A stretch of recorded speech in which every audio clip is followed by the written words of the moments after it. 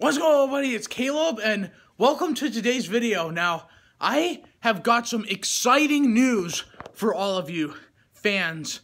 So, what I got is I got this thing, the Xbox One. So, all of you are in luck, guys, because you guys can see more content and everything coming up on my channel now, and not having to wait like two weeks per video. But yeah, and this is pretty exciting because I have a lot. I have nine games I can play so far. I've got Forza Horizon, the first one, Forza Motorsport 7, Halo Combat Evolved Anniversary, Midnight Club Los Angeles, Minecraft, NBA 2K14, NBA 2K16, NBA 2K18, and Peggle. And these four games, these were downloadable and they were like forwards compatible with the Xbox One, and these four are 360 games, and the other five are Xbox One games. Now, as you can see in here, I've gotten rid of a lot of my video games here.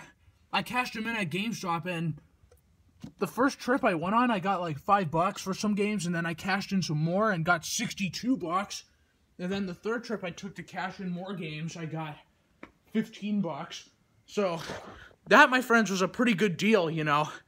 And yeah, so what I'm I'm gonna probably discuss something with you guys right now. So what my next series is probably gonna be gonna be doing is um I'm probably gonna be doing Forza Horizon for my next for my next video game series. I am still gonna be doing Minecraft stuff, but I'm gonna try and see what I can figure out with because I had to I had to unexpectedly cancel Speedycraft, but what I am gonna do is when I'm able to do a series on Minecraft again, I'll try. What I'll try to do is I'll try to do one more season of Speedycraft, and then the rest of the mashup world packs with Minecraft. But luckily, guys, you can see another new video game with Forza Horizon, and yeah, I'm gonna try to get Forza Horizon 2 and Forza Horizon 3 because they're both available for the Xbox One. So this is pretty exciting news, guys. And and with the controllers, I've got this controller. I haven't used it yet because it runs on batteries and what I'm starting to think is that like another controller is assigned to a profile and so far we only have one profile on my Xbox One.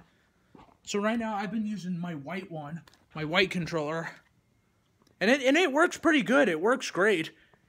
And plus they they come with um, plus, you have to put in two AA batteries every time the batteries run out. It isn't rechargeable like the 360. But anyways, guys, I hope you guys enjoyed this video. If you did, make sure to leave a like and to subscribe. Anyways, I will see you next time.